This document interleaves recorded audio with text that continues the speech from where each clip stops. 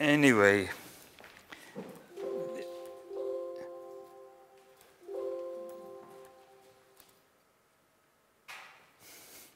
okay.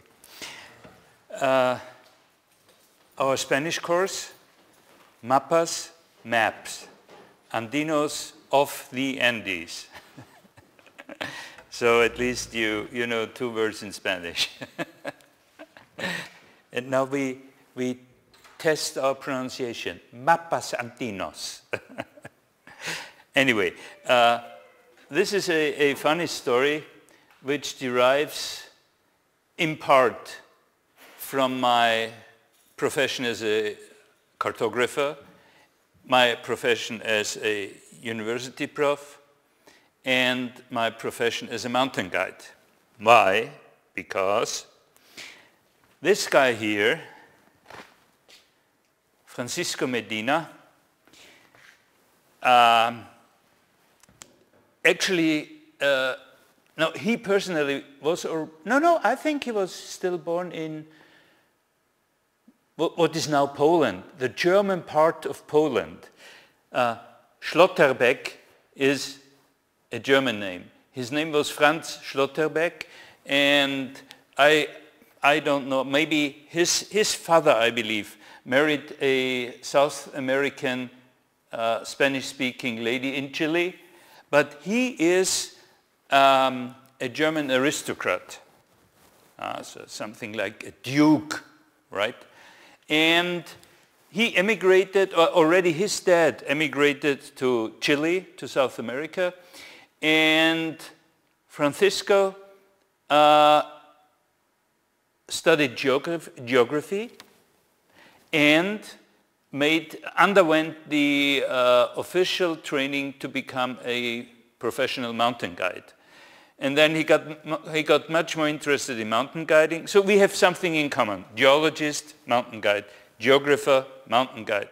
I decided to stay in academia. He decided to become a major mountain guide with a, enormous background knowledge in geography, of course, which was for the benefit of his clients because he could tell them, you know, this is a, what specific type of volcano and you see these flowers there, vegetation, blah, blah, blah.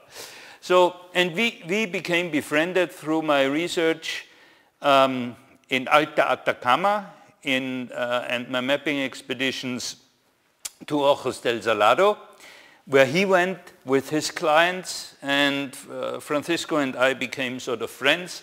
And one day Either he sent me an email. No, he, we, we, we met in Santiago de Chile and he said, by the way, Manfred, I need good maps. I said, yeah, anyway, anyway, you have them anytime. But he said, I need them for, for a particular area. And he, of course, as president of the Chilean mountain guides, he was well aware of any mountain maps of the Andes, and he knew that in the area where he wanted to get material, that is near the hotel, four-star hotel, or five-star even, I guess four or five-star hotel, Puma Lodge. He needed something for heli skiing, helicopter skiing.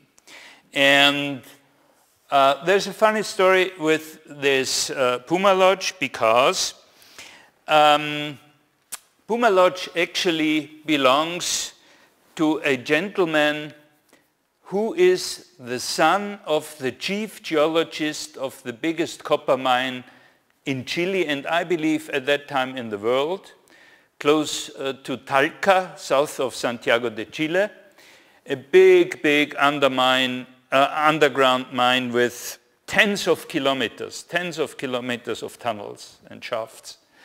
And the father of this chief his father, uh, yeah, the, the, no, this chief geologist also has German roots and emigrated to Chile. And his son then also became, studied geology and became also the successor of the father as a chief geologist of this big, big copper mine. And he also gained money. And he said, okay, why not I buy a helicopter skiing concession in the Andes? I'm fond of skiing and I think this is a good new business idea. I uh, construct a nice mountain hotel there, Puma Lodge. And you know what the pumas are, the, these sort of tigers, huh? uh, mountain tigers. And uh, and then I, I place a helicopter there and I make good money with uh, helicopter skiing. However, there were no maps. Huh? And then he got in touch with Francisco, my friend, Francisco Medina, and said, Francisco, you have very good connections everywhere. Please set the stage for helicopter skiing. I provide the hotel, I provide the helicopters, and you do the rest. You manage the hotel, you manage the whole heli helicopter skiing.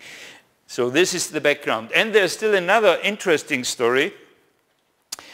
During the communist time, when there was still the German Democratic Republic before 1990, there was one big, big chemical, chemical plant in East Germany, Bitterfeld. And whenever I flew from, say, Vienna to Stockholm for, for 10 years. I also was invited prof at the university in Stockholm. So whenever I crossed over East Germany, you saw big, big clouds of dirt moving up, smoke actually, uh, poisonous smoke. I don't know what they produced. Anyway, everybody knew this is poisonous. And the percentage of people who died there in the Bitterfeld area with cancer was significant. But, you know, communist regime, you didn't hear a lot. But since my grandma, my mother's mom, and three of my aunts were living in East Germany, not too far from Bitterfeld, I knew about this. Huh? And what happened after the reunification of Germany after 1990? This chief geologist who also constructed Puma Lodge, he bought Bitterfeld because it broke down during the what we call politische Wende, political turn or change. And he said, huh, there's a big, big factory. I have a lot, lot of money. I, I just buy it. And I check out what I can do with it. Maybe I can make a new factory out of it, whatever. So the guy who I met in the Andes, there at Puma Lodge, he frequently was just a little bit north of Dresden, in the east of Germany, in Bitterfeld, thinking and managing the restart of this big, big chemical plant. Funny, huh? So, two strange things. My mom originates also from the German-speaking part of Poland. Before World War II, many Germans lived in what today is Poland, right? So, and this Francisco Medina, he came from this area. My mom too. Uh, and then I meet the boss, uh, the owner of this Puma Lodge, the owner of this helicopter, and he actually also has a strange, uh, so funny. Huh? So I need good maps. I say, okay, tell me what you need, and we make them for you, my students, my assistants, and I. And so we decided that I go there for a one-week stay to Puma Lodge and check out how the situation is and what, what we actually need. And at that time, of course, the big owner was there. I guess he, he, died already, so I can tell it with his girlfriend and the baby of his girlfriend, his wife stayed somewhere, I don't know where, and with his young girlfriend, he was there, introduced me to her as it would be natural, because they have a different thinking in South America. You know, there's the wife, and maybe there's girlfriend number one, number two, three, something like this. So anyway, that's how it is. Uh, and with, with this uh, lady, and I even think the baby, we then jumped onto the helicopter and flew over the whole area. So of course he showed me the surrounding of Puma Lodge. It looks nice, huh? it's wooden outside and, and you will see more of it. Uh, for, four or five star, I don't know. So high quality. In the middle of nowhere. You need a four-wheel drive to get there huh? in the mountains. bad roads. And then we flew around and he showed me all the areas, Francisco, this uh, owner, and myself and the, the girlfriend and the baby. And the helicopter was like a buzz, buzz, busy bee. Very silent. Not what you are supposed to. Ta, ta, ta, ta, ta, ta, ta. It was zzz. He says, this is the most modern helicopter on earth, the most expensive you can get. It was only for, I think, six or eight people. Not, not a very big one, but big enough for us, of course. And we set off and said, did, did the pilot start the, the engine? Yeah, you didn't hear anything. So fantastic. So in this respect, because I'm very much against helicopter skiing. In the Alps, I hate it. And that, ah, the noise, uh, it, it, it's not ecological, is it? No. So, but in this case, a large, large area of, we will see it very soon, how many square kilometers, up to 5,000 meters, and there's one little bee humming around. It's like nothing. Huh? And it's also not spoiling the area with crowds of ski tourists, but there's only a group maybe of four or five tourists, one mountain guide or ski instructor, and that's it. And maybe there are at the same time three of these groups over a large, large area, maybe as large as from here to the German border and, and Czech border and, and, uh, and, and Austrian border. So um, yeah, very special. And here I wanted to show you a short video um, about helicopter skiing, but we, we can still try. I think it does not work. No, it does not. Timeline. Uh, March 2010. Francisco addressed me in Santiago and said, Manfred, it's not only beer drinking now, it's business. We need, I need good maps. In April, I informed the students about the project possibilities and in November uh, 2011, I went there for maybe it was 10 days inspecting the mapping region, was what I just told you. Um, in March next year, 2012, uh, I, my successor, we had an overlap of, of the professors, so it was obvious that I would in five years retire and we had already placed a position for the, the, a young guy who is now my successor and is now interested in the prof of cartography. He joined me because he was not at all familiar with mountain mapping so he went there, a, an assistant of mine who also knows uh, um, Professor Kropacek very well because we jointly went to Tibet and to, to Nepal, and I think seven or eight students, rather eight students. So this was in March, the whole team went there, and uh, yeah, as you see, 1st of March until 7th of April, we stayed in the field in Puma Lodge and then finished our field mapping activities. And already a uh, uh, few weeks later, we began with map production uh, and we delivered already a first product and then continuously within, I guess, one and a half years or two years, all these needed map products. It was uh, what was planned or what was uh, asked to be submitted was a very comprehensive map package. First, topographic overview maps at the scale of 50,000 and 100,000. Why? Why did they not use the Chilean maps? Because simply, I'll show you, I'll show you the proof. They existed, but they were of mediocre, of medium quality, if not to say low quality. Uh, and there were even there, there were even white spots, white patches there. Nobody went there to map it. They they had uh, no no good uh, stereo overview when they uh, um, when they used the uh, mapped the uh, stereo aerial photography. or there was shadow. Anyway, there were, were white patches, which is not acceptable. So anyway, we had to generate these topographic maps. Uh, for some areas where there were uh, the, the actual uh, powder snow tracks leading down from summits, we, they asked us for 1 to 20,000 maps, so very detailed maps. Uh, they wanted a hiking sketch map of Puma Lodge and its surroundings, and eventually an access map how to reach Puma Lodge once you land at Santiago Airport. How can you get there? Do you have, uh, assuming you are renting a car and going there with a rented car. Um, and finally, risk maps of the individual off-piste ski runs. Why risk map?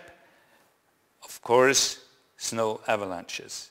If you are in the wilderness of the Andes, and it's not like uh, skiing centers here in the Czech Republic or even in Austria or Switzerland, where you have a, a mountain rescue team 24 hours a day. But there is simply nothing. You could try to, to ring a, an emergency number somewhere in Santiago de Chile, and then the question is, uh, is there somebody picking up the phone? Is there a person available who knows what to do? How long does it take to come from there? So, uh, um, risk maps are of high, high, high importance. And this is also why uh, Francisco addressed me, knowing I'm a mountain guide, I'm a ski instructor. I know very well about the, the avalanche risk, right? And last not least, not too far from, from, the, uh, from the hotel, from Puma Lodge, they wanted to uh, make a trail. They actually made a trail up to a very nice little summit and they wanted to place a 360 degrees outlook there. And some information uh, concerning the names of the peaks you are seeing here, right? Okay, so we set off in March uh, 2011, I guess it was, right? Uh, from Dresden via Frankfurt am Main to Santiago de Chile. And then from Santiago de Chile down to Puma Lodge. We've seen the winter uh, image before. I still go back for you that you see uh, the winter image. Oops. Ah, anyway. What happened? Come on. Yeah, anyway, snow cover in winter, and th this is how, oops, how it looks in summer. And nice pool, nice setting, but you don't see a, a big parking lot, you don't see a, a, nice mountain road. It's really in the middle of nowhere, sort of. Uh? And this is myself here, swimming dolphin, here, backstroke, Professor Burghardt, myself, one university assistant also immediately in the pool, and seven students. They were supposed to be up in the mountains while the profs are enjoying the pool. No, it was not like this, you will see. This is just fun. Huh? But anyway, so every three days or so we went back to the hotel and then you could a little bit enjoy this one or even the sauna or sanarium and then the spa. Uh, here you see, he, this guy here is currently supposed to teach at TU Dresden while I'm teaching in Prague. He's my successor.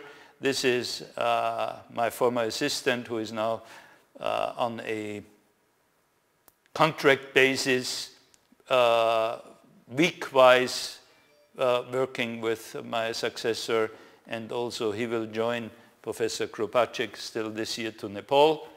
And yeah, some of our students, this is not all, and myself. Uh, yeah, and eventually this lady still joined us. There was only one in, in the beginning and oops, due to some, uh, some delay with the plane or some uh, plane trouble, she only came three days later. And this is where we are. The mapping region is located in the central part of the Chilean Alps, uh, Chilean Andes. Uh, you have to imagine from up here, from the far north, here would be Titicaca Lake, the biggest mountain lake in the world. Which is the second biggest? Right, Issyk-Kul in Kyrgyzstan. Wow, how come you know? anyway, so this is this here is uh, Titicaca Lake in, in Bolivia, uh, in Peru. Here you have Bolivia, here you have uh, Argentina, and this here is Peru, right? Okay, and this distance from here down to southern Patagonia is more than 4,500 kilometers. How far is it from the northernmost part of India to the southern tip? Less, less anyway.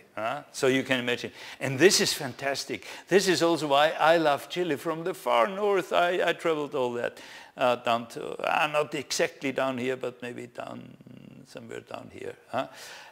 This, and, and, you are going through all these climate zones and so fantastic. And anyway, we are here not too far from Santiago, and that's where we went eventually. Um, the size, which I indicated in the beginning, I said I don't exactly know the figure or remember the figure anymore, 5,000 square kilometers of helicopter, helicopter skiing uh, concession. So a big, big area, 5,000 square kilometers. And this also means a lot of map production work. Huh?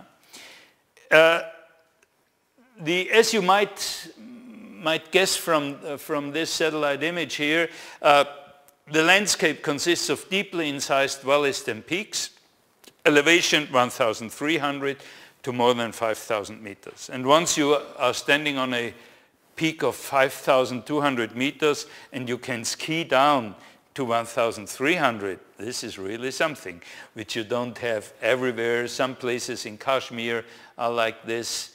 Uh, actually nothing in the Alps because we don't have peaks uh, of this altitude Anyway, so this, this is really something. I, I enjoyed being there very much. And however, I have to say, here I never skied. I skied slightly north, but not in this area. Mm. Ideal region for deep snow, uh, or as we say, powder skiing, right? Uh, what are the input data and what was the preparatory works? We collected all the topographic maps from the Instituto Geográfico Militar from the Military Geographic Institute in Santiago. We collected any type of digital geodata from this very institute which uh, are publicly available and of course we organized any type of satellite imagery, Landsat, Bing, uh, Google Earth uh, data. Uh, digital terrain models, no doubt of high importance, in particular for, uh, uh, for, the, uh, for the disaster or risk maps, right? And then uh, GPS data and field book, that's of course also something we had to bring with us. And having collected all that and prepared all that, here you see one of these, uh, it's not one of the ordinary, uh, the ordinary um, GPSs, but a, a, high quality GPS system um, we went for field work. This is the available 1 to uh, 50,000 maps from, uh, from uh, Chile, from the government. And here you see already what I indicated.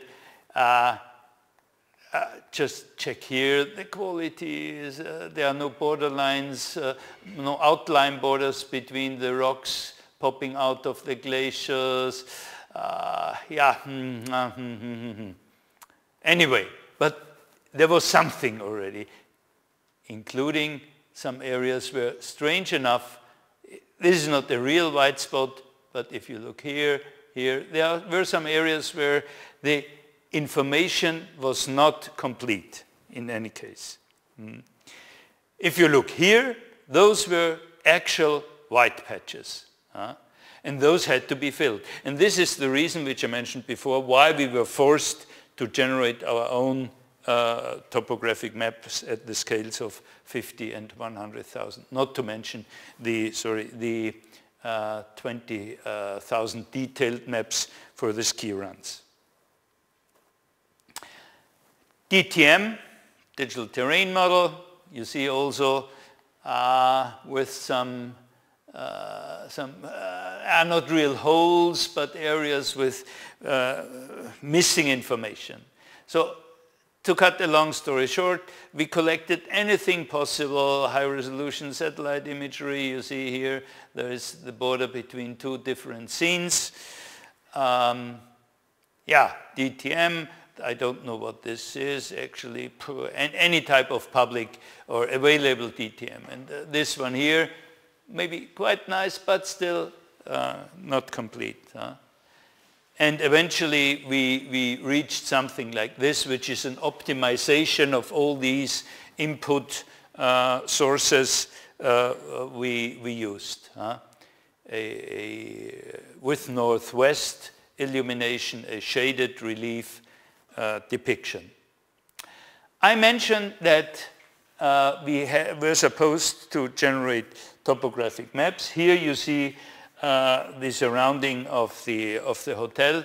H is the hotel here, uh, so it's located. This is, yeah, you might call it roads, but it is rather field tracks where you need a four-wheel drive to drive them. Huh?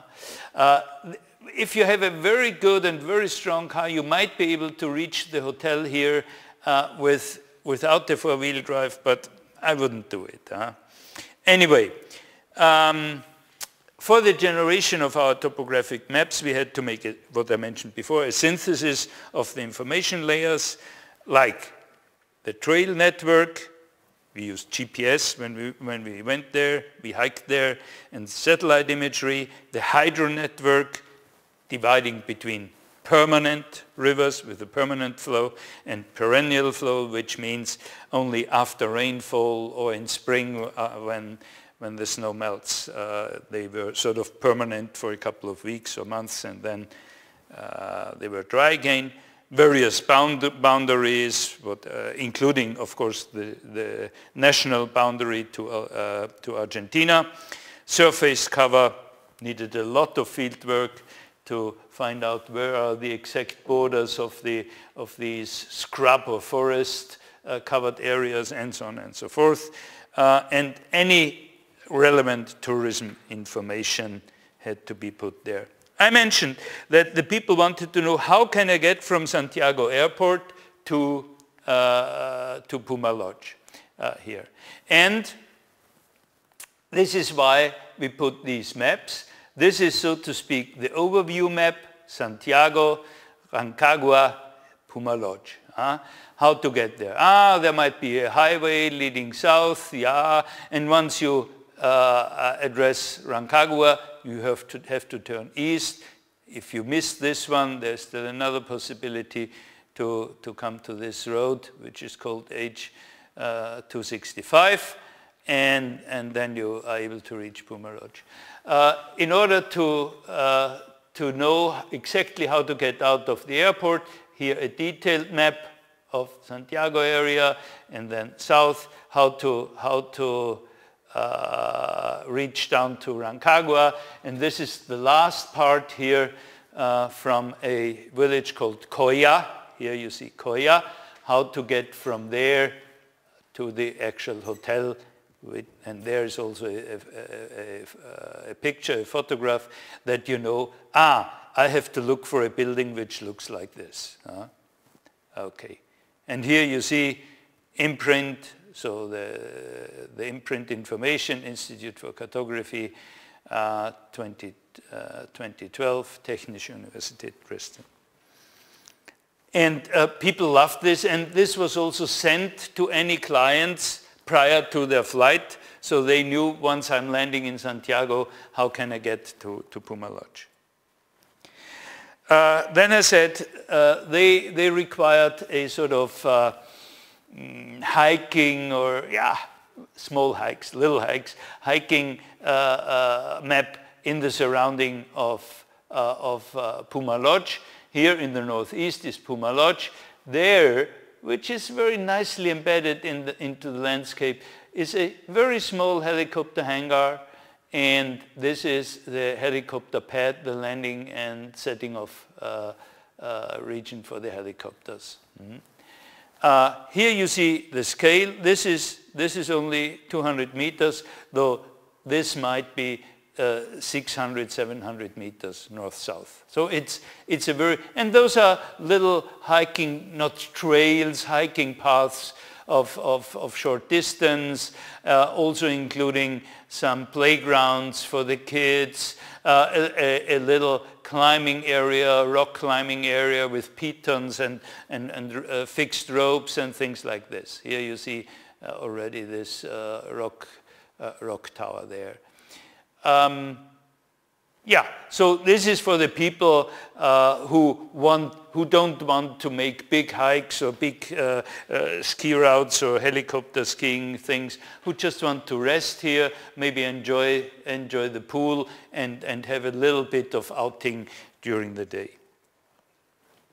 What you see here is the overview map of the whole area at the scale of 1 to 100,000. So you can imagine once we had to produce the 50,000 maps, basically you can divide it into four parts, whereas the southeastern part is only covering this little triangle here. But this, of course, uh, the northwestern thing is a real, a real full-fledged uh, 1 to uh, 50,000 uh, scale um, sheet. Anyway, you see also uh, uh, the percentage of uh, glacier coverage here in the southwest, but also up here. And, and, and the highest peaks are up here and, and here. And yeah, I can only tell you once you are standing on this, uh, on this summit here and ski down into the valley, as I, as I told you before, it's a big, big vertical drop. This is really impressive. And there was nothing before. Such a thing could be done anywhere in the Himalayas or so with a minimum of ecological impact, as I, as I described to you. Huh? You have one of these nice eco uh, mountain huts constructed with a lot of local wood and uh, in a sort of yeah, ecological way huh?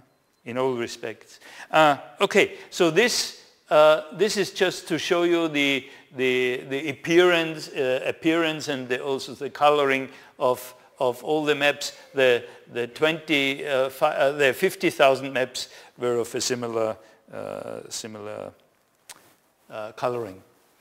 And this is now one of these maps which I mentioned, which show the individual ski runs. And in this respect, ski run means deep snow ski run, no prepared pistes but you have to be an excellent skier. This is why in the beginning I wanted to show you how they ski down, how they jump out of the helicopter and then ski down, that you get a feeling of how the whole thing is. And I believe, I'm not 100% sure, that part of this uh, video, which hopefully we can still show uh, at the end of this lecture, uh, was, uh, was the, the, the, green, the green run down here. And you have to imagine um, here I, uh, I mentioned, so the design is by myself. It's questionable. It can be made better.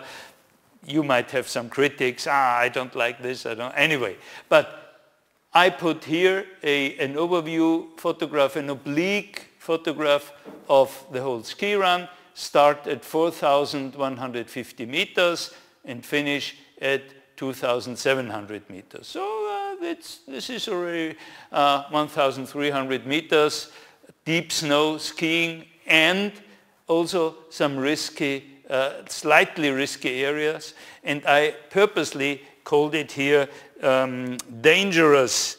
Uh, did I call it dangerous? Yeah.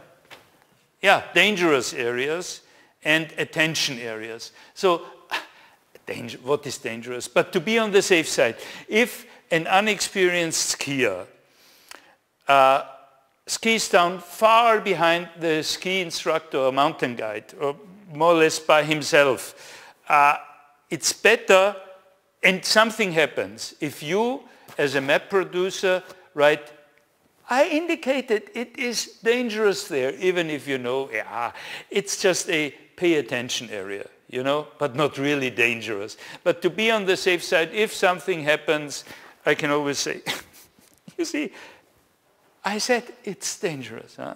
And, and this uh, did I call it the tension area? Yeah, I call it the tension area. Uh, so here you have to be a little bit careful. Uh, here it, an avalanche might come. You always look up left. Is there something moving? Do I have to uh, be fast and disappear down into the valley because avalanches might go down in this direction here or, or uh, something here.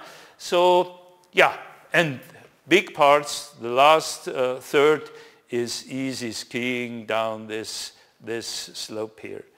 And so apart from giving the absolute altitude and of course the uh, horizontal coordinates, I gave the total length, the range of the run, uh, 3.5 kilometers. The elevation, I calculated 13, it was more than 50, uh, 1400 meters. The maximum slope inclination and the average slope inclination. 42 degrees for a, an experienced skier is nothing. Huh? And here we have it. Huh? So that's the actual uh, steepness. The upper part here is a little bit steeper, but the last one is just enjoying. Huh? Okay. And, and this is what, what we were supposed, I think we, we only made four or five of those. Uh, but basically we were supposed to make it for every ski run which is uh, done by, by, the, by the local mountain guides. And now a little bit of this was a little bit of science, a little bit of cartography, and now a lot of blah, blah, blah storytelling. See how beautiful the mountains are and, and see how nice it is to study cartography in Dresden because then you get these chances. okay, this is myself and besides me, uh, my successor uh, on one of the paths up in the field because the first days I just used to make these people, uh, uh, this lady for instance, like the other one too, she stems from the flat north of Germany, not experienced in mountains, you know. Uh, they, they once spent 10 days in, in, in the Alps with me, but for the rest, you know.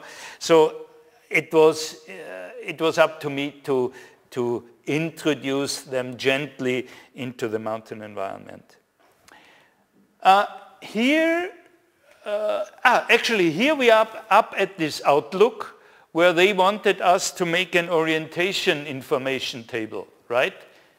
Very nice view, huh, I have to say. And you look into various valleys. So, yeah.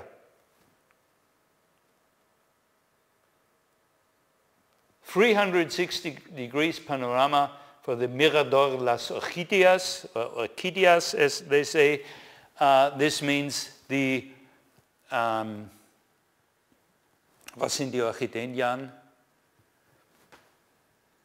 Orchideen. You know these flowers? The orchids? Maybe orchids. Yeah, the orchids outlook, because there were very, very nice orchids growing there. Ah, here.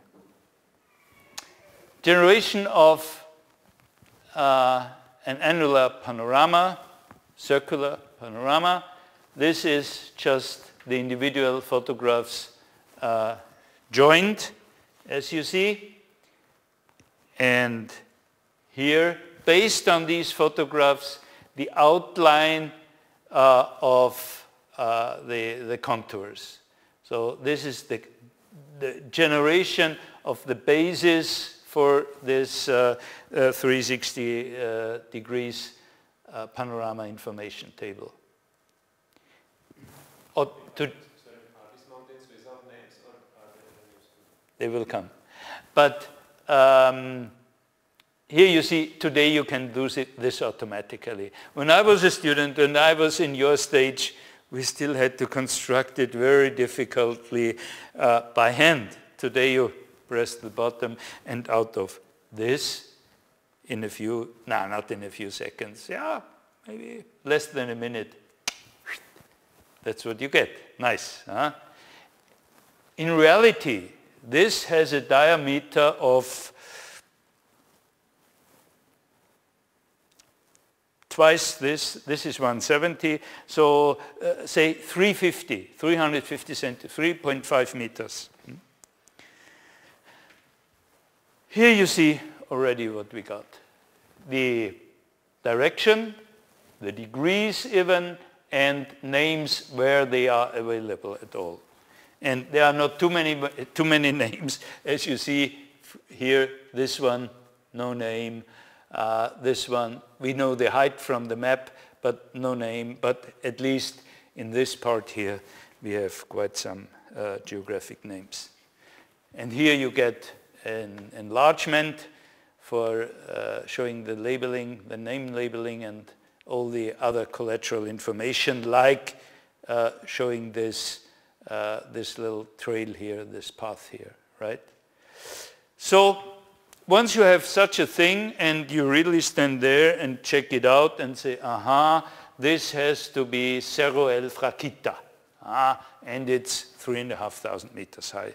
So this was a request by, by the uh, hotel management and I think it was a nice, uh, a nice cartographic task which is different from normal map making. Huh?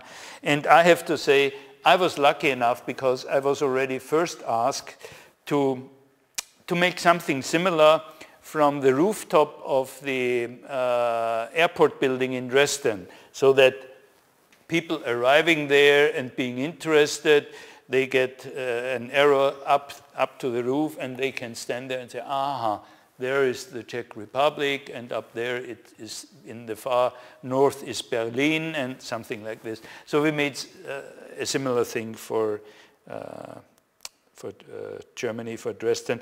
And based on my experience from this, it was for me as, as the, the manager of this whole thing and, and Prof easier uh, down there at uh, Puma Lodge. As said, three, four days, maybe in exceptions, five days, our little teams, I guess we had three teams or four teams, uh, set out, brought their own uh, little uh, lightweight tents with them, and uh, at the very beginning, first we, first we made a sort of training outing uh, check uh, if you are able to set up the tent, even if you are tired in the evening, and so on and so forth. So this is what you see here. And this is also during the beginning where we were, the whole group was still together as a sort of uh, get used hike up the mountains, including the mapping. So I showed them uh, you're just walking. I mean, you're here to make a map. Please stop, make your drawings, make your notes, or uh, even some, it was very nasty. We went up. Now you went for half an hour without stopping. Was there nothing? Please. Down again. Same distance again, but now making notes, drawing, and so on and so forth. And they didn't like that this jolly, ha ha ha, prof, he can be serious. And yet, no, no, quality first. I mean, you're here for mapping, not just for hiking and shooting some memory uh, pictures, right?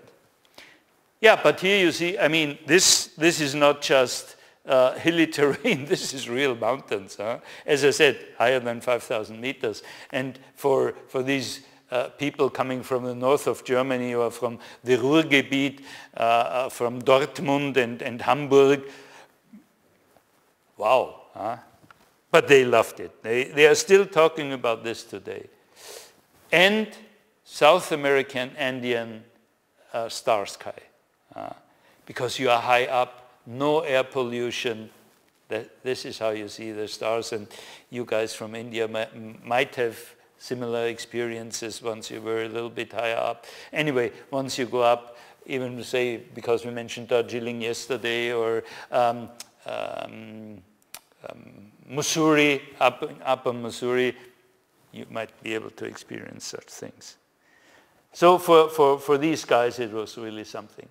And when every of these groups, I think we had three groups only, when they returned, um, are there the ladies here? No, one lady is here. One is still missing, yeah, the one who came later. Um, we had a joint meeting. Everybody brought, everybody brought their uh, results of field mapping and we sort of assembled everything, collected everything, assembled, and uh, in this way, based on discussion using uh, the, the existing uh, maps of the Instituto Geograf uh, Geográfico Militar and our satellite image, which we had brought from Germany, not in folded but in flat form, like these ones here, and the size, the size of these two things was maybe almost twice as, twice as large as uh, those maps. Huh? So there we made our discussions and slow by slow uh, the maps began to grow.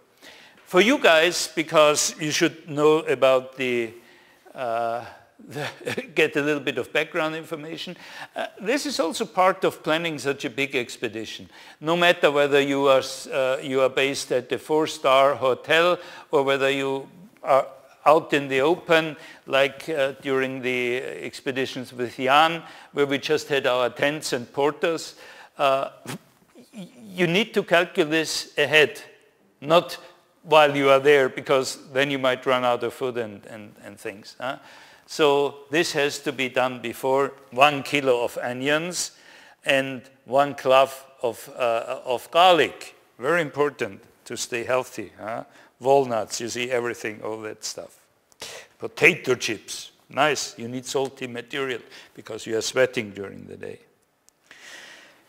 And this was then in the field produced by, by the students. Huh?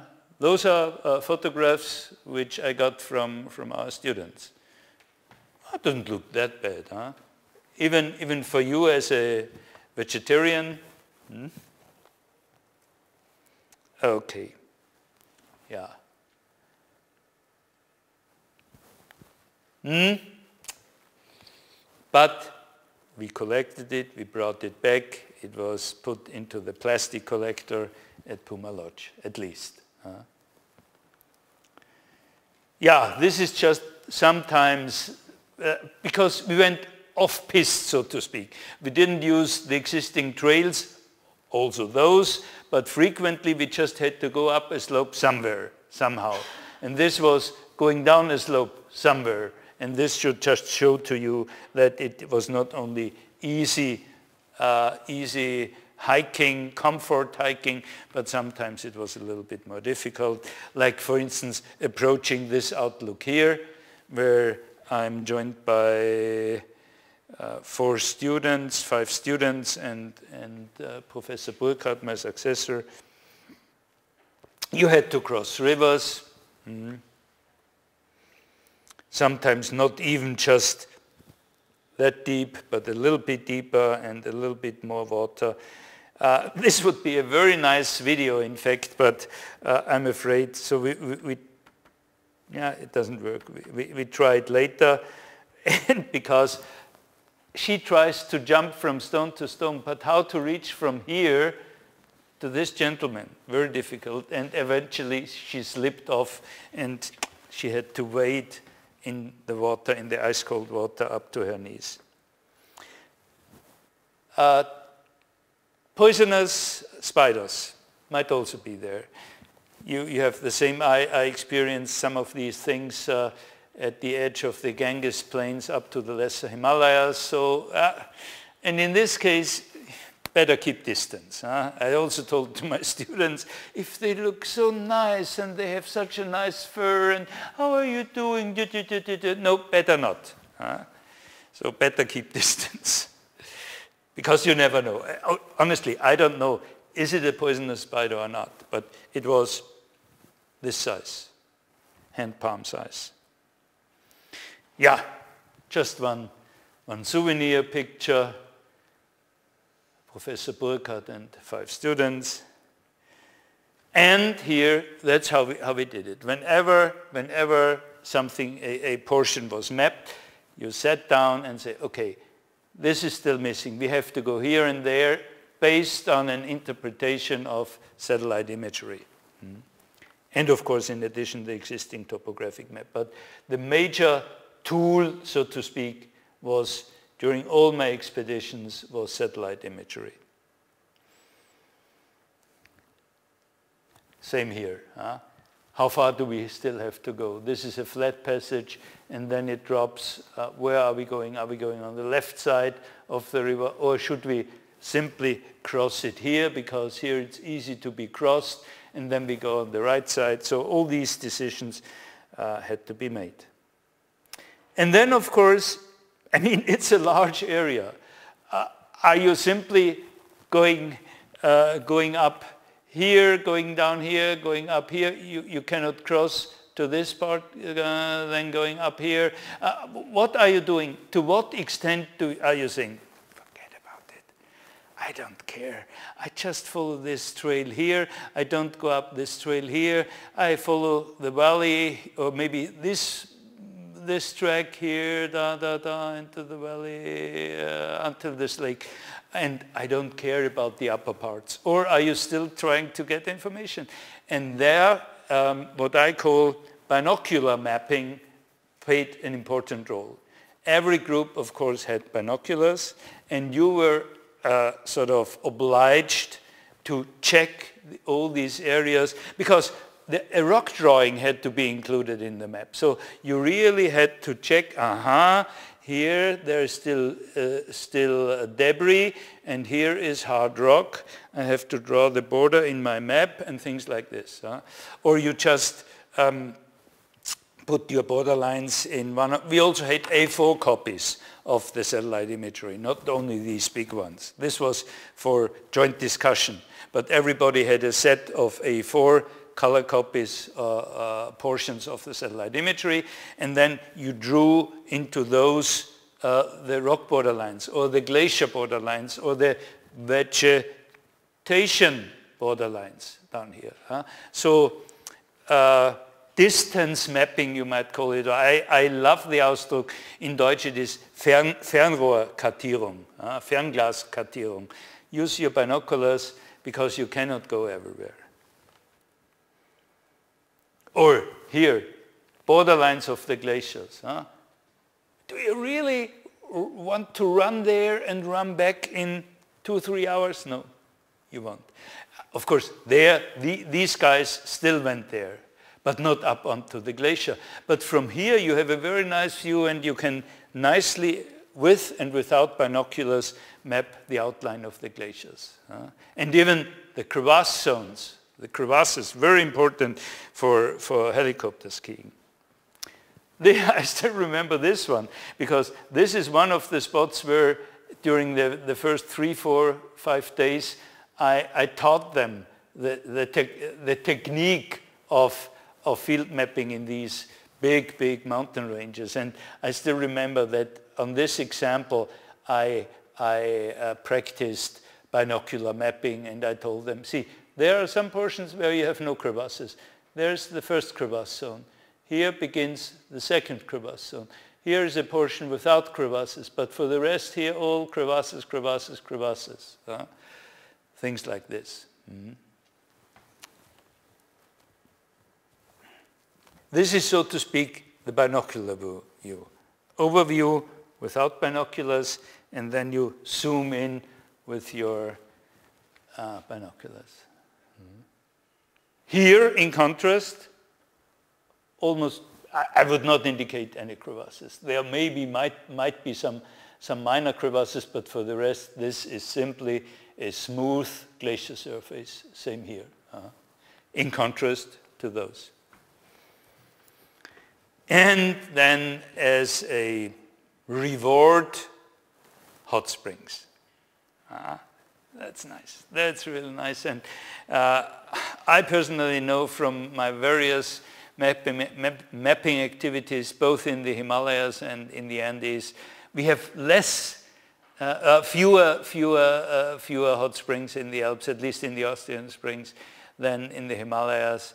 And if then they, they are already tapped and you have to pay entrance fee and you have a nice pool. But to be out in the open like here in, the, in such a little rock pool and, and the water has 43 degrees and you can, ah, this is nice. Uh, by the end of a harsh, hard uh, mapping day.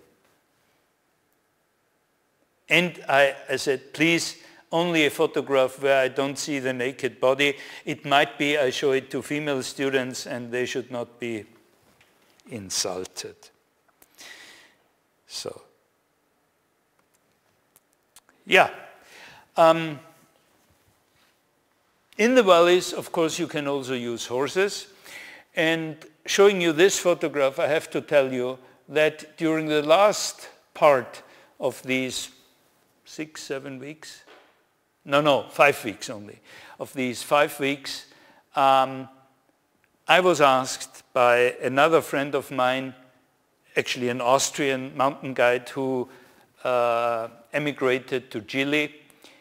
Um, he wanted a map of a national forest west of the helicopter area. Same thing, doesn't work, unfortunately, because you would see us riding here, Professor Burghardt and myself. Unfortunately, it doesn't work. Um, we went into this valley here. This is Rio Cipreses. It's called west of the helicopter area, and he wanted a 1 to 100,000 map of this area.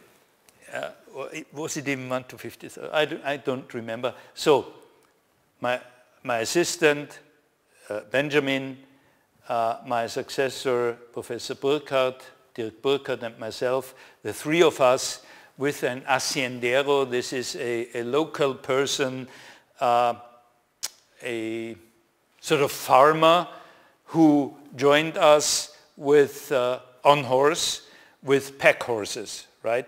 So we had, I think he had two or three pack horses uh, with our material, camping material, and we went for three, four days into this valley and did hard work while the students, we, they got a very small portion near the entrance to this national park to map, so they had to do something, but they could sleep in the hotel, and, and for three, four hours a day, they did a little bit of mapping. Uh, but you, you will see, and this is why I was fond, um, I was initially planning to you to, to show you the videos, and, and hopefully we, I still can show them to you later today. Um, for instance, here he wanted to cross this river. Uh, the horses fell, sort of drowned, were drifted away. He was able to swim to the other to the other bank of the river, and here not it's not so deep, so he could move move up to here, but he was not able to go back to this side, while the horses were 500 meters or one kilometer down. But they were able to, to get also get up safely to the banks of the river. But still, those are things uh, which simply can happen during expeditions. And this would also have been a very nice video where we tried to save our, our local farmer with a rope. There was no other way to, we couldn't get to the other side, not even on our horses because we knew his horses failed, so there was no way uh, uh, at this level of water to get to the other side. So yeah, very nice things. Here you see another snapshot where we pull, tried to pull him over. First I threw the rope to the other side. He, was, he tried to catch it, then to fix himself, and then, yeah. Um, this is in the very far south of the, of the area.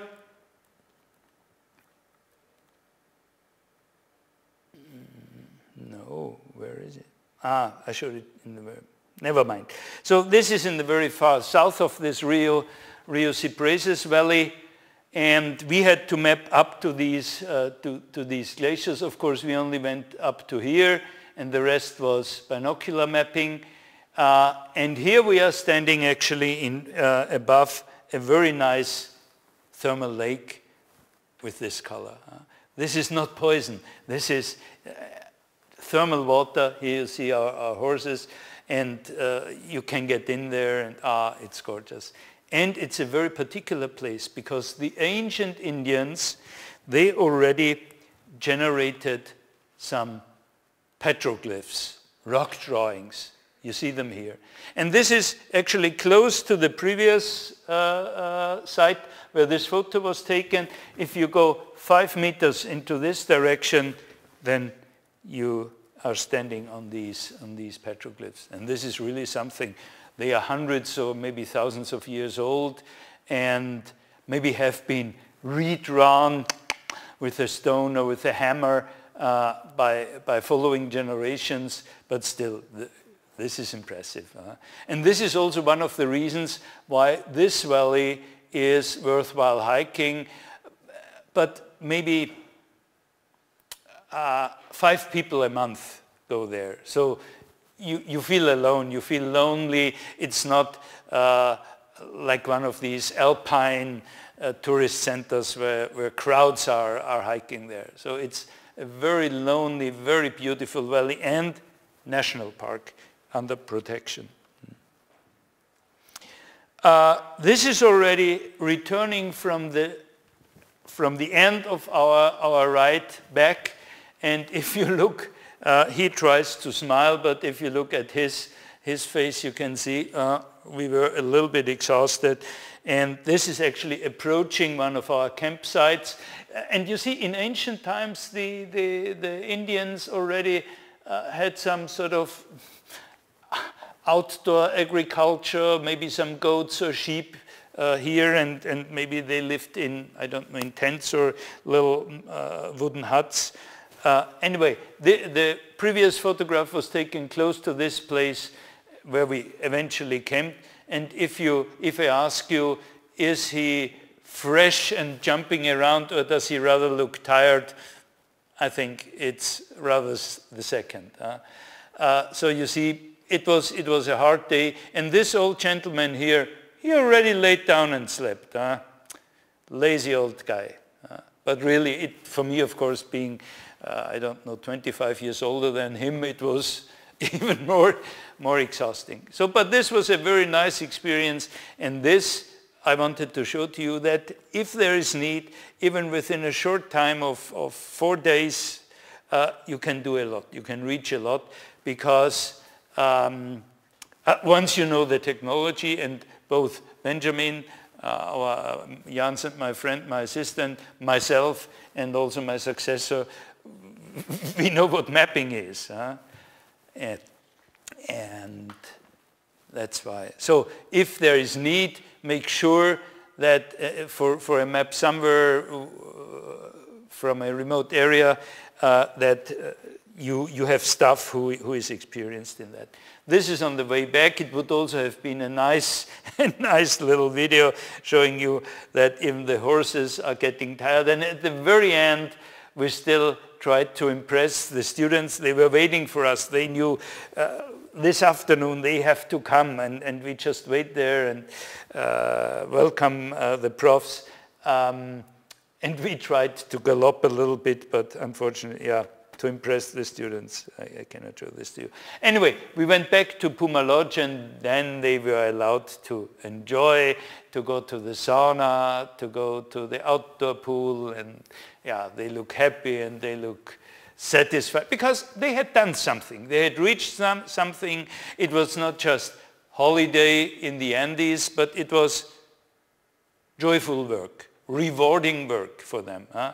And they are, as I told you, I still get emails saying, Prof, I just want to tell you I got a new position at university, blah, blah, blah, at map camping here and there, company here and there, but I, I'm still remembering 19, uh, 2011 when we were jointly uh, in. So they liked it evidently. Okay. I purposely am not going to show you the pictures from the sauna, but this was it from, from the Andes. Uh, now,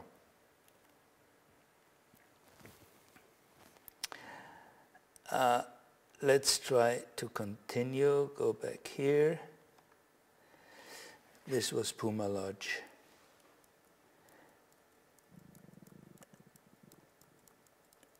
Ah, wait a second, I'm not, I am not doing it like this, but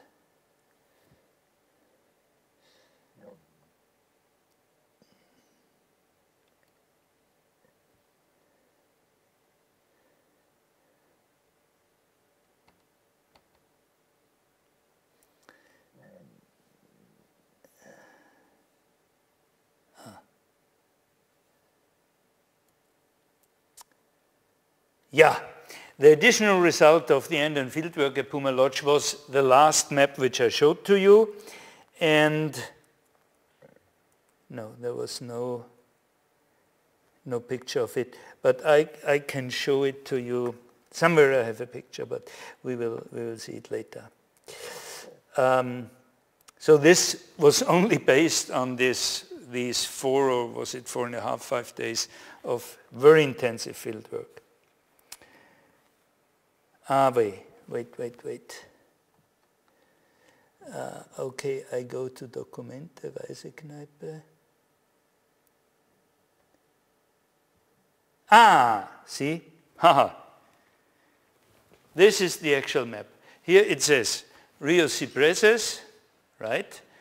Chile, uh, one, two, does it say the scale? I don't remember. Uh, but it might, might have been 1 to 100,000, yeah. And also very important for selling. Huh? If, if you, even if you work not for a company but for, for a university, I always put here University, uh, Te uh, Technische Universität Dresden and then something German map quality, just for selling. Uh, why not? And, and this, uh, this editor, Trekking Chile, uh, they accepted, uh, they accepted it. Huh? So it was in Espanol, English and French. Um, here we gave the major, the major places, uh, uh Reserva Nacional, so National Park, uh, Los Cipreses, Laguna Priquenes, uh, Quebrada Medna, this is a, a, river, a side river, Rio de los Leñas, and Rio Cortaderal. Uh, those are the major, major side rivers uh, from here and, and, and, and, and this glacier part.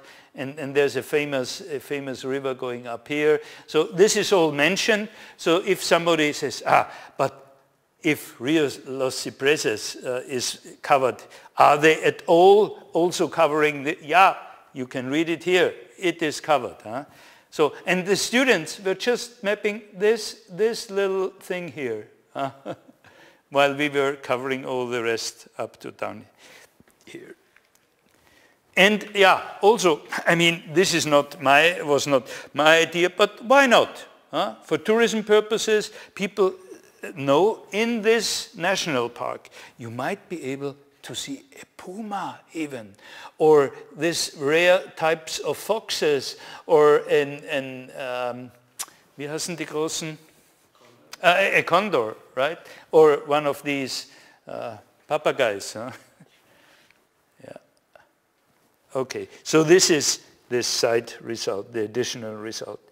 Um, you have already, you guys here, you were already uh, exposed to to various maps and this actually is just a collection of maps from this working group of comparative mountain cartography. They have this outline uh, and here always this is the new outline with, uh, which I designed decades ago. Uh, and this here is a typical uh, design of the recent maps from Trekking Chile. So all the Trekking Chile maps are of this design. And the old type, here it says also Technische Universitäten, German map quality, uh, uh, they, they, were like this. Huh? And why I'm showing this to you is because incidentally, I was lucky enough to have these two maps in Austria. As I told you, the rest is all in Germany, where I rarely go nowadays. Um, and there you can see, and this would be a task for the students to check the first edition and the maybe fifth or seventh editions. Are there any changes? What are the changes? And uh, yeah, this is the implication of this slide here. And in addition, uh, it should lead over to a uh, uh to another uh, slide which actually is this one here. And this is nothing else but the map and book uh, page of Trekking Chile. You see trekkingchile.com. Find your trail, your expert for traveling and hiking in Chile. And here you see north, central zone, south, Patagonia, and so forth. Uh, wait a second. English, Espanol, Inglés.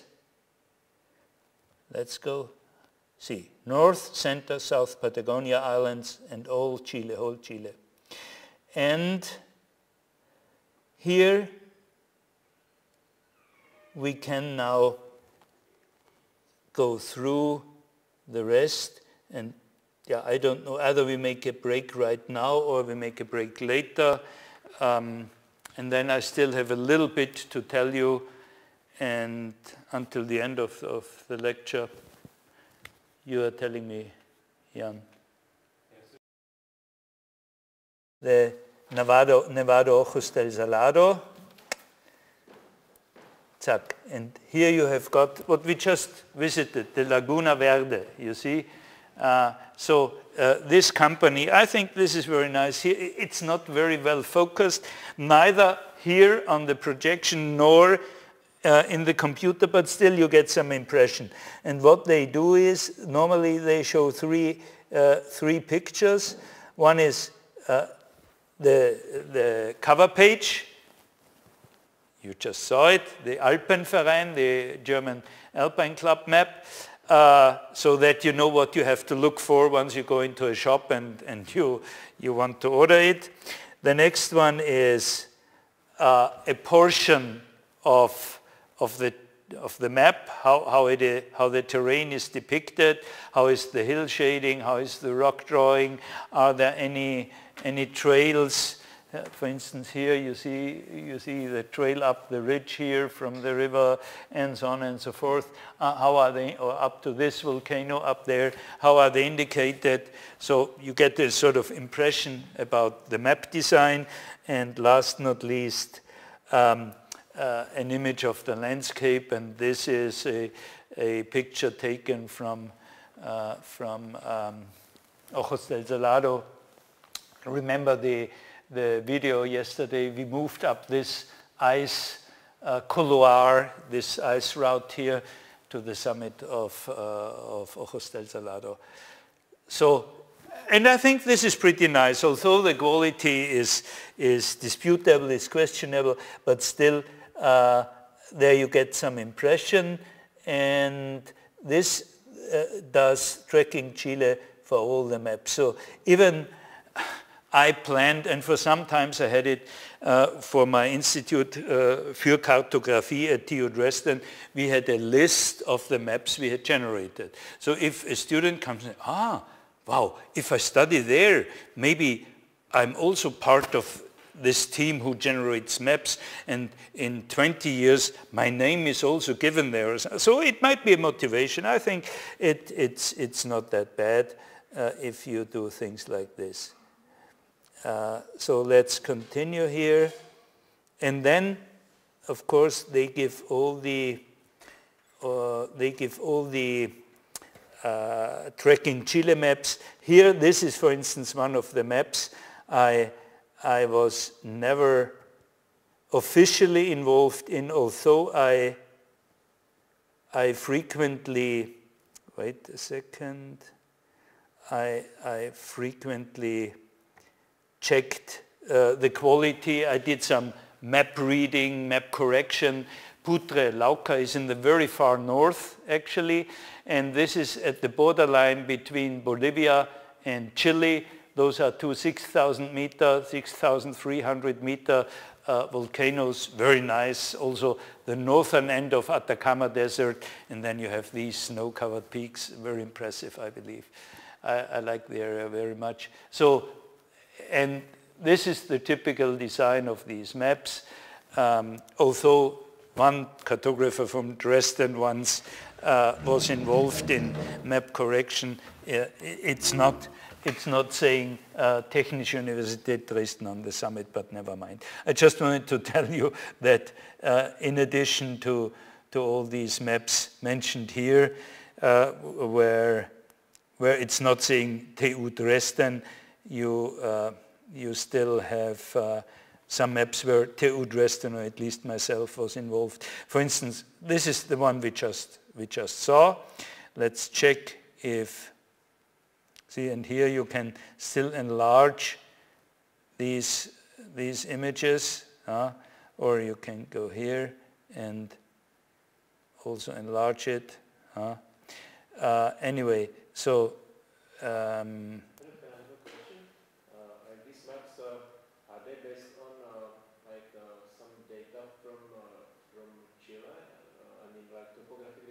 Yeah, yeah. Yeah, yeah. Is there any portion of, uh, of uh, available, like this crowdsourcing uh, data, like uh, OpenStreetMap? normally, what I did, since I knew some uh, some guys, some geodesists at the Instituto Geográfico Militar in Santiago, I, I wrote an email there and ordered there.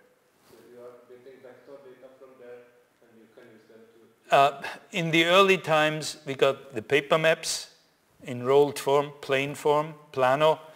And nowadays you, you simply get, uh, get the digital both, uh, any type of data you want, you can, they are freely available, yeah. yeah. What, portion of, of the work is some kind of identification of features from satellite images or from... from yeah, so we, we, we summed up all the all the necessary findings of information from any of the sources. So based on the existing topographic maps, we also uh, we also uh, overlaid, for instance, the elevation contours of the existing maps with the elevation uh, contours we derived from uh, the available DTMs, say, no matter of what source. Uh, in, in, very few cases, we ev even used uh, Pleiade and generated our own DTMs. And if there was a deviation, we rather believed in our, in our elevation contours than in the old ones. Because uh, I know how quickly they sometimes ah, it's already five to six I, sh I, should go home and I still have to finish this map sheet. And sometimes the, uh, the stereo restitution was a little bit on the, on the vague side, I call it. Uh, it was a little bit careless. Uh. So anyway, we tried to optimize all these informations for our maps. And yet, in, uh, for instance, there's no map where uh, not somebody uh, was either somebody from Trekking Chile, uh, from my friend, his name is Franz Schubert, like the famous composer. And he's also, he grew up in Vienna close to where Franz Schubert lived. Uh, before he went, uh, he went to Chile. So either Franz Schubert himself or some of his friends went there, or uh, in 80 or 75% of all the maps, one of the Manfred Buchroithner students went there, or I myself. So this, for instance, is uh, San, uh, uh, San, Pedro de Ata, Atacama, the recent edition, uh, or even a, a, a, newer one. This is the edition from, anyway, we will find it. L look at this one here. Was this the one we had? No. Yeah? Uh -huh. So the animals were jumping into the map. How can that be? Uh, but you see here, uh, there are many more, many more images. So you get a good impression. This is also in the Valle de la Luna, in the Moon Valley. Uh, ah, this is one of the of these outlook peaks uh, to the uh, northeast of uh, the Salar de San Pedro.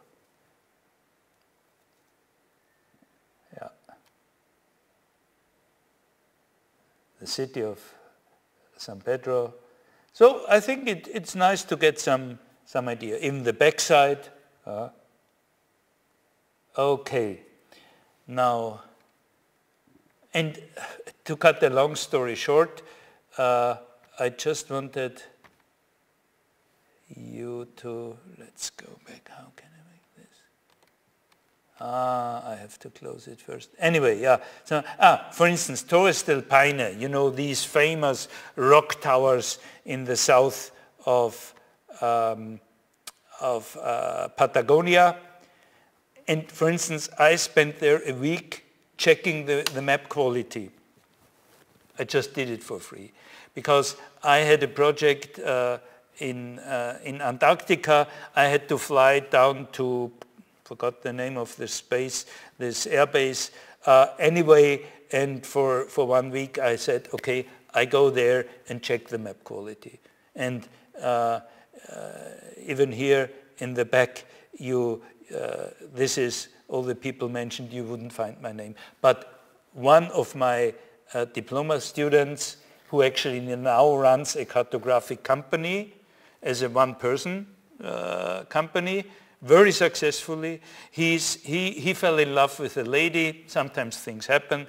In Chile, he lived for three or four years even, well, maybe five, in, in Chile because I asked him, or I asked him, would you love to, uh, like to, to do your master thesis in Chile? Yeah, yeah, I would, da, da, da, da. So he went there and then he, stayed, uh, he, he sent me an email, can I stay a little bit longer? I think I can find some jobs uh, working for maps, blah, blah, blah. I said, okay, stay as long as you want, improve your Spanish, it's always good. And during that time, he fell in love with this uh, Chilean lady.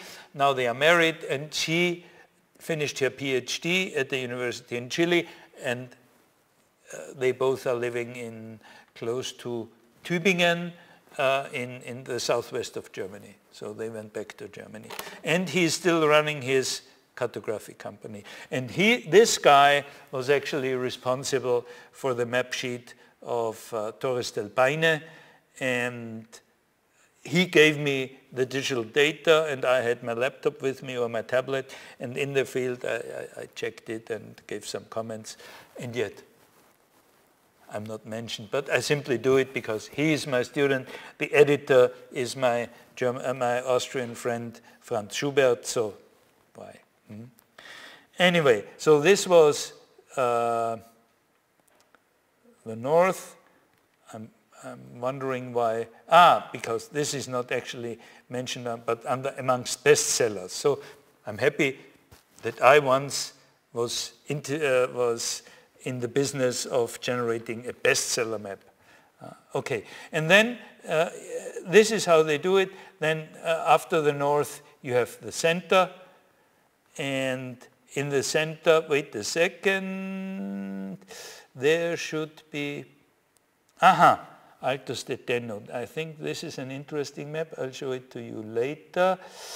Uh, I was. I was involved in Achibueno. I was involved in the surrounding of Santiago. I was involved in Cajon del Maipo. This was actually one of the first maps by one of my oldest master students. This is just east of Santiago, the house mountains of Santiago.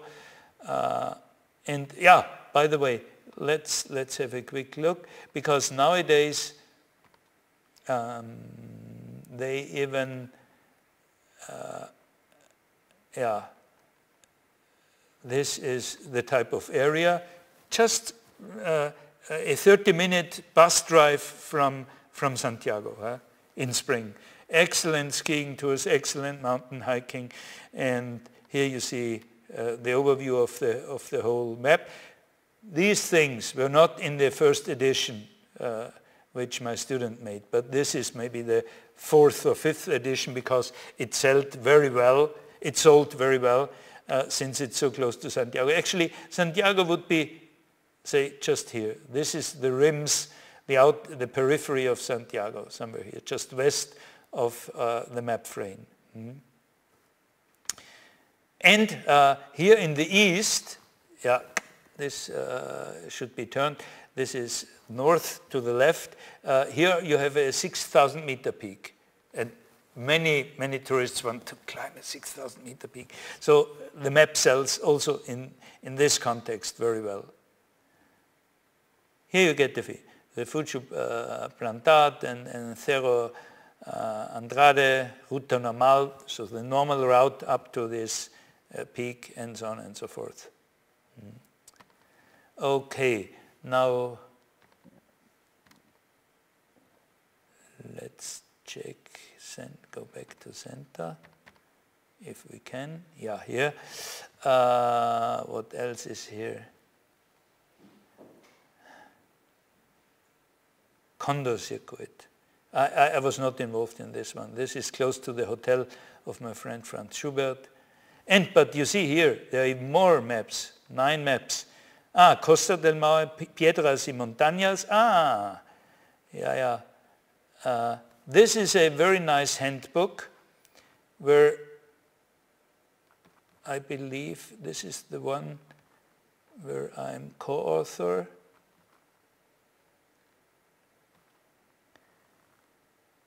Uh-huh. Um, it's published by the University of Talca. Uh, it's, this means about rocks and mountains, the geology of Maule, and down here would be the names of the authors. Uh, and uh, this is also uh, written by this one student uh, who I just mentioned who went from Chile with his Chilean wife now to Germany. Very nice geological explanation. I, I don't know any, any similar book which explains the, uh, the generation of our Earth as it is uh, in geological terms with so nice pictures and so nice simulations. It's a gorgeous, gorgeous, gorgeous book. Why, how, how is the erosion by the waterfall? Why is there an overhang, right? This is all explained in, in these nice, nice pictures. So it's, it's a fantastic book. I think it was published in, wait, let me check.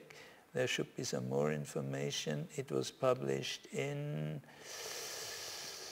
uh, options. Ah, out of stock, see? Cannot be ordered anymore. This is why, maybe why they are not giving additional information. Huh, that's good. 20 US dollars and sold out. Huh? So a surprise to me, but evidently the book, when, when people go to the bookshop, they say, ah, it looks nice, I buy it. 20 bucks, nothing. Huh? So it's really a, a, a very nice book. Mm -hmm. Surprise, surprise. Um, and any further? Ah, wait, wait, wait. Uh, there should be Alta Cerdeña, Condor Circuit, La Cajon del Maipo. Uh,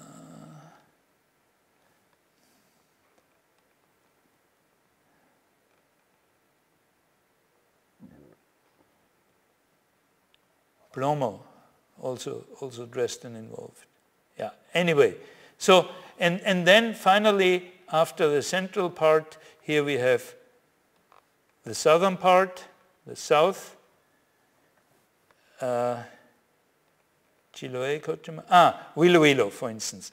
This is a very nice map uh, of, a, of, a, of a national park where I was nothing else but asked to check the trail markings and the information uh, tables along a very famous one week round or five days route, a hike, multi-day hike, because uh, they knew me there, they knew I'm not only a cartographer, they wanted to produce, produce this map, this was one target, and the other one to check in the field to what extent the quality of their trails, of their hikes, is equal to alpine standards.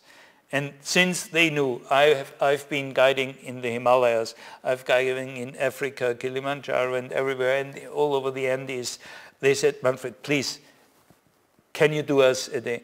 I, I stayed in a four-star hotel, wonderful, Echo, eco hotel, blah, blah, blah. They gave me a porta, they spoiled me. And I had only the task of saying, mm, this table is not sufficient. Please add this or that or change this and that. And there people get lost. There is no marking. The trail cannot be found in the forest and there is a branch and another branch. Where do they have to go? I know because I'm a mountain guide. but somebody who comes from Amsterdam and New York, downtown, he doesn't know a Delhi downtown. so, and, and I gave them all these hints, and I stayed there for eight, nine days, had a wonderful time, and, and this is the map you see here. It, it's a gorgeous area. Just look at these waterfalls. You are passing through jungles, uh, beautiful mountain lakes, and so on and so forth. The whole is, whenever you hear about Huilo Huilo National Park, uh, yeah, it's, it's in English and in Spanish, uh, uh, this map. It's, it's a wonderful area, by the way. So uh, I have to hurry up, hurry up, hurry up. South, what else? do we have to show? Ah, by the way, Cochamo Puelo, uh, this was also a map of, of my student, um, uh, student I just mentioned before, the guy Josef Lademann. And then here, this was one of the very first uh, Llanquihue and Lonquimay. This volcano, doesn't it look gorgeous? Huh? Uh, I don't want to go into the details, but this was uh, at the very beginning also of, of our activities there. And this, this guy also eventually, he stayed for one year in Chile. He said, Manfred, can I, can I stay there? And he made not only uh, his master thesis, but these two maps, Llanquihue y Lonquimay and Lonquimay. Uh. Also, for the second edition, I, I, stayed there for two weeks and checked map quality. Uh, wait, I show you this, this volcano. Uh, here you see it. Oops. Uh, for free. No, I, I, even, I even paid the hotels. I, uh, so I paid some money just to work there. Here you see this, this gorgeous volcano. Uh, here you have a view. Isn't that magnificent? Uh, down here, the jungle and up there the glacier-covered uh, volcano. Uh, I love it. And it's, it's a real volcano. Up here you see a little bit of, of smoke coming out. And, and when I was there, really there was the, the, boiling, uh, uh, the boiling red lava cooking in, in the whole of the, of the crater. And, and a little bit of smoke was coming up. And I just surrounded surrounded the whole crater there. This is gorgeous. Uh, yeah. So not only the Himalayas, also the Andes. and this is, this is uh, the backside of the map with some detailed maps of the volcano and, and the lakes. And of course, again, giving the, the animals. Well, okay, let's stop here. I could mention four or five more maps from the Andes, but I wanted to show you this one. Uh, uh, this is one of these typical maps produced by one of my PhD students. Uh, this is 26% as you see. Now let's move up to 100%. Tuck, tuck, tuck, tuck.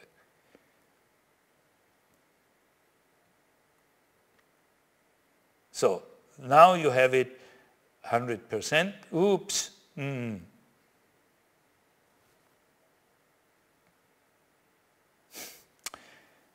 apologize, apologize, apologize.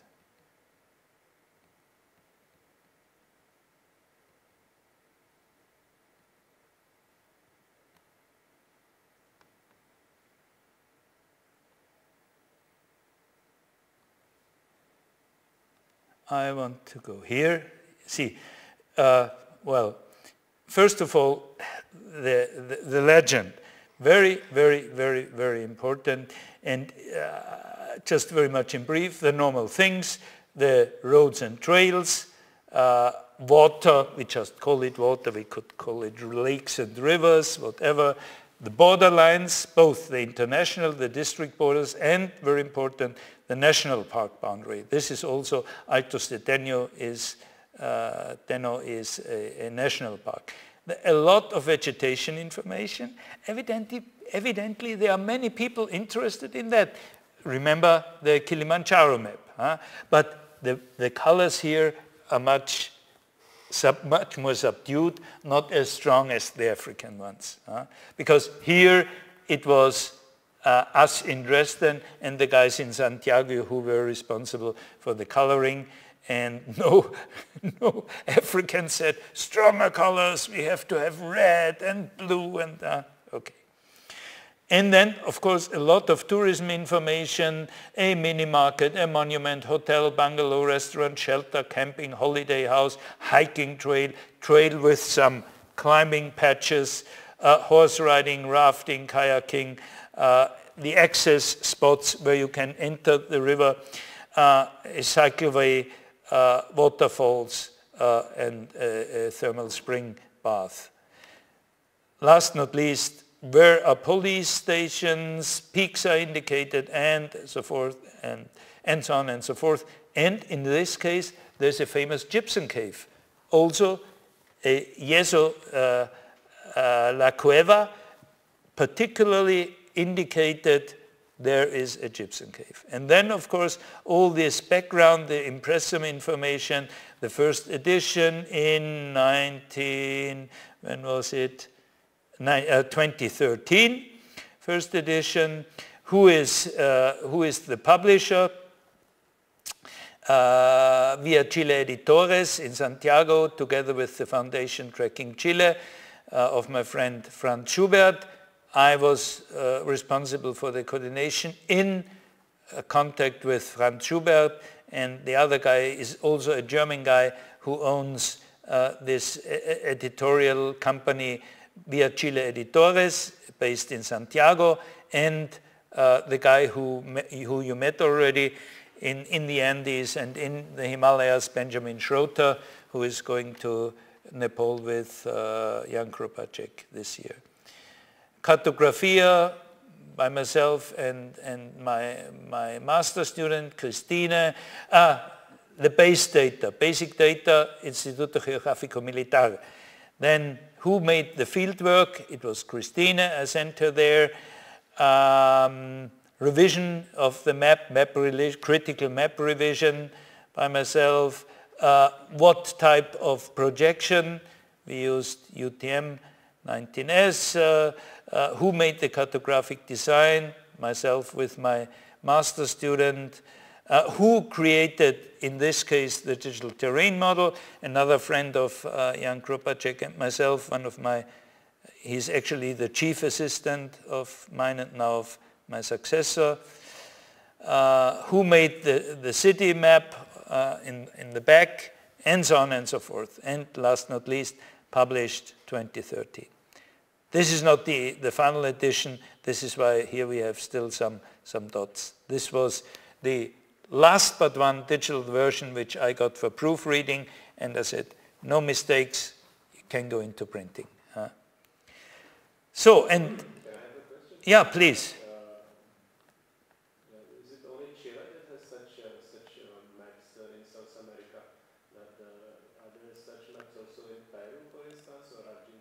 Some are, some are. Uh, just think of the one I, I made of Chimborazo and, and uh, and Nevado, uh, and the other one, these two maps, right?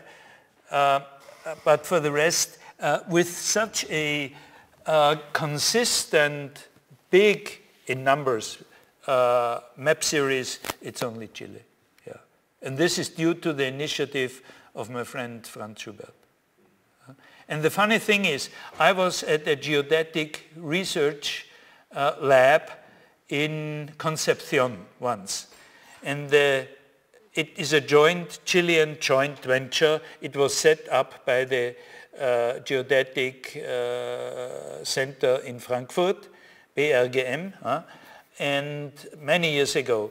And they invited me, and this German guy there who was in uh, the head, uh, the chief there 30 years ago, I don't remember, he said, Manfred, you are Austrian. You know there's still another Austrian mountain guide up uh, in Talca. I know him. He, his name is Franz Schubert.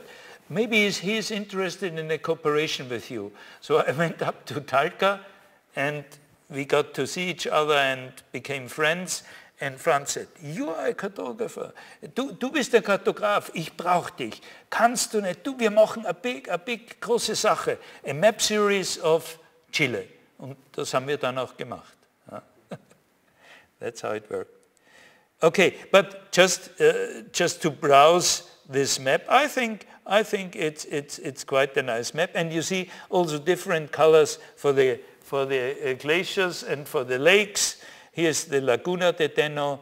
Um, uh, oh, oops, here in the, uh, uh, I wanted to show you the glaciers. Here, here you have this typical uh, green, sort of greenish blue. It's slightly too blue for the glaciers. Uh, but basically, uh, or you see the, the, the, very intense green for the, for the national park boundary. But basically, I think it, it, it became a very nice map. Huh? So this is one of, of the examples how, how our, our maps look. And if I'm a master student and after finishing my MSc, I can say, see, this is what I made. It's nice, isn't it? I think it's, if I were a student nowadays, I would be happy. One to 150,000. Okay. Let's go back to mm -hmm.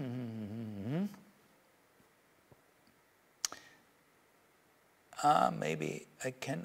Now, let me immediately show you this one. Yeah, this is a very bad example of the, of the snow avalanche risk map. It's the one and only snow avalanche risk map of South America, which I made based on an algorithm I developed in the 1980s for the Eastern Alps, where I generated the first snow avalanche risk maps of a ski tourism area in the Austrian Alps based on some pre-work by a friend from University of Innsbruck. He made some, he's a geophysicist that made some theoretical uh, assumptions and, and calculations and I sort of improved that and made it ready for map application.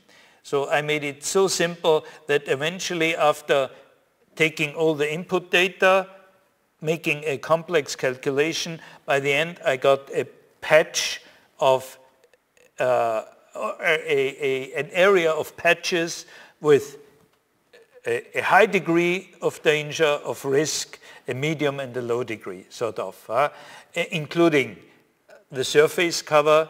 When you have uh, trees and shrubs and bushes, it's less than once you have only a, a meadow where the snow simply rushes down clearly. Um, the wind direction, because if you are on the Luv side, uh, uh, on the ley side, then or lee side in English, you all the wind is blown over a ridge and you get big uh, thicknesses of snow and a higher degree of risk clearly. So all these parameters have been included and I used this very, very old algorithm, gave uh, gave this information to my student Josef Lademann, the one who is married to the Chilean lady, and, and he together with me, we generated this map. Uh, and it's, it's a, a, a famous uh, ski touring site around this lake. It's the Lago di Maule, up at an elevation of 2,300 meters, so not very high, but still uh, high, uh, high enough up in the uh, in the Andes to, uh, to still have a, a, a enough snow. And unfortunately, I have no other picture.